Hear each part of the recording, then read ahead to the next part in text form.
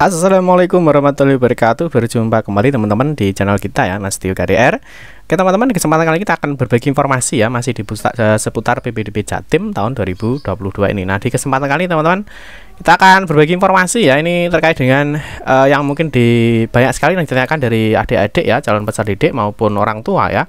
Ini terkait dengan cara melihat pemeringkatan ya Di tahap 1 ya khususnya untuk uh, Apa namanya jalur afirmasi, jalur pindah tugas orang tua ya, prestasi hasil lomba. Nah, ini khususnya untuk jenjang SMA maupun SMK negeri se-provinsi Jawa Timur ya.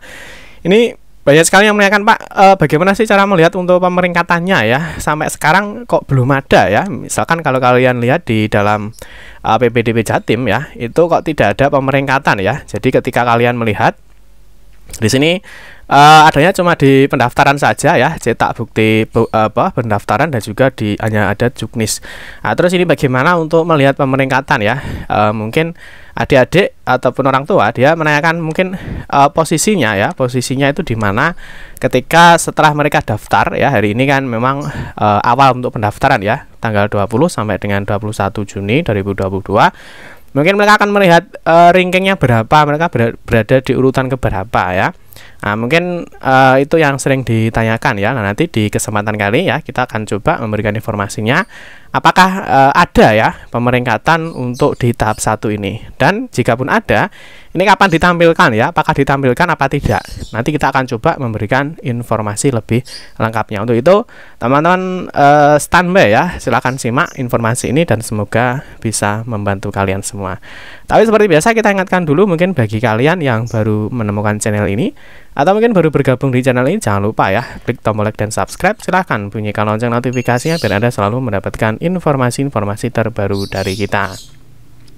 Bagi kalian yang suka baca berita silahkan kunjungi saja di laman resmi kita ya mastiukada.com di sini akan berbagi informasi khususnya di seputar dunia pendidikan.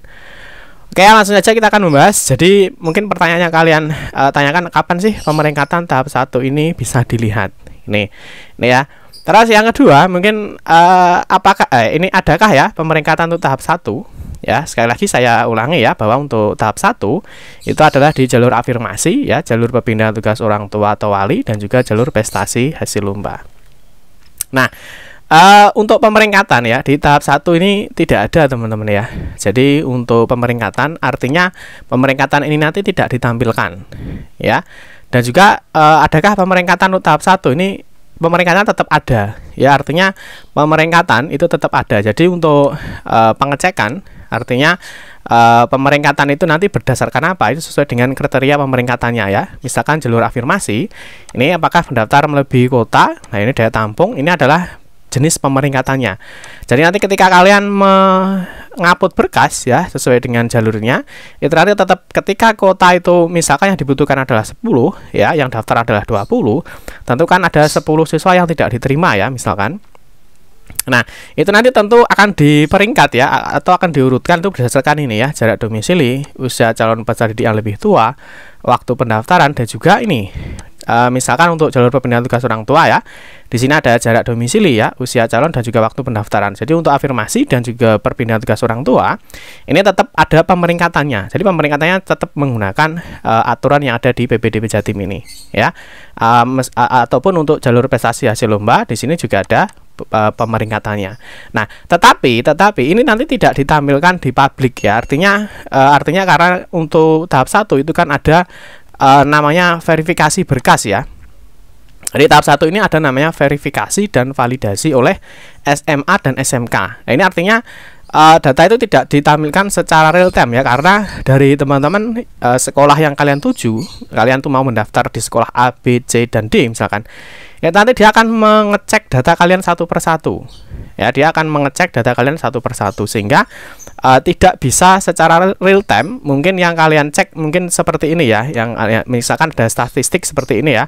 Nah, misalkan kalau nilai ya misalkan nilai ini kan ada uh, nilai batas terendah dan juga nilai batas teratas ya. Ini teratas ini terendah. Ini tentunya uh, ring ring nilai ya antara sekian dan sekian ini kan ada siswanya. Nah itu mungkin uh, peringkat sementaranya ya kalau misalkan di sini Nah, di sini ada pemeringkatan ya atau peringkat sementara ketika pendaftaran itu dibuka ini memang tidak ada area tidak ditampilkan. Paham teman-teman ya? Jadi untuk pemeringkatan tetap ada ya. Jadi untuk pemeringkatan itu tetap ada. Nah, itu berdasarkan dengan ini uh, ini kriteria pemeringkatan ya, tetapi uh, tidak ditampilkan. Jadi kalian tidak bisa melihat kalian itu sekarang posisinya di mana ya.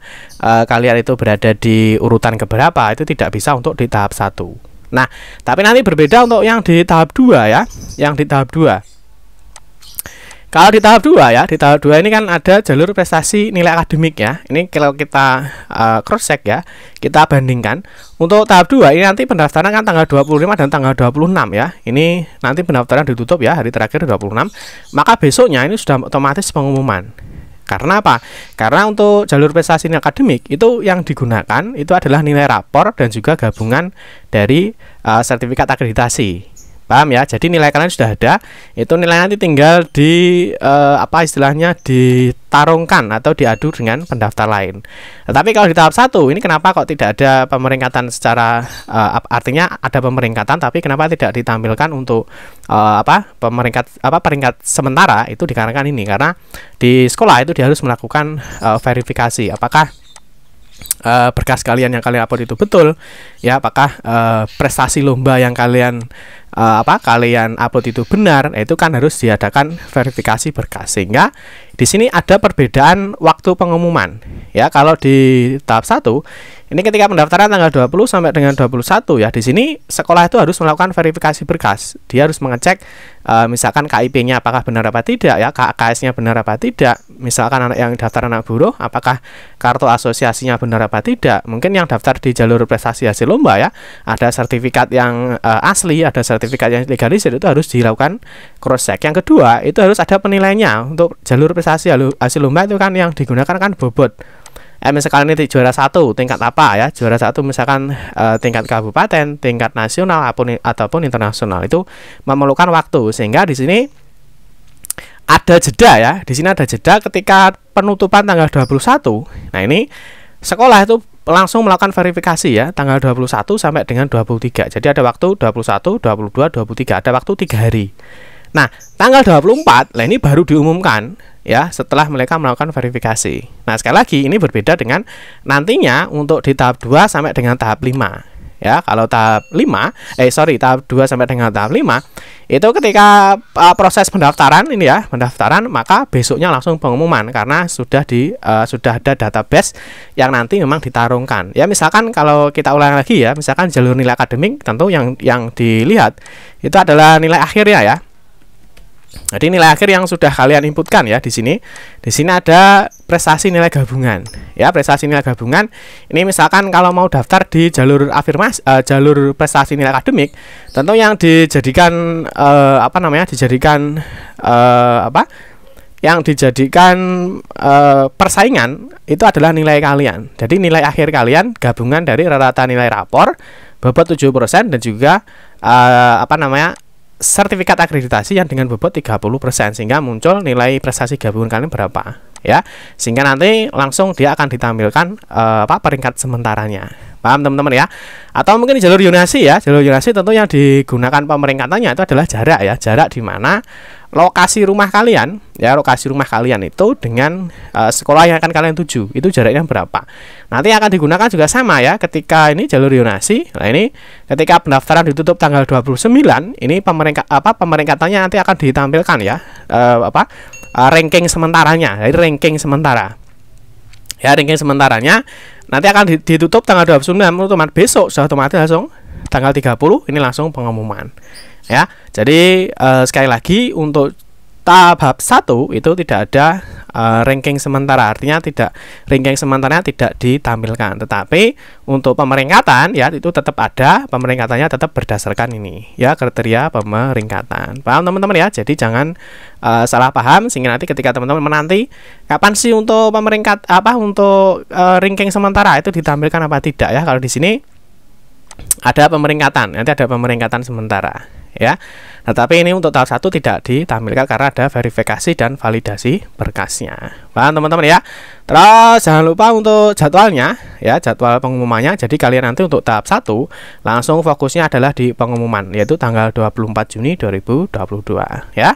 Semoga kalian semua diterima dan di sekolah dan jurusan yang kalian inginkan. Amin ya robbal alamin. Oke teman-teman cukup sekian saja semoga bermanfaat ya. Uh, kita akhiri. Mohon maaf jika ada salah-salah kata dalam memberikan informasi dan penjelasan. Kita berjumpa kembali di video-video berikutnya. Saya akhiri. Wassalamualaikum warahmatullahi wabarakatuh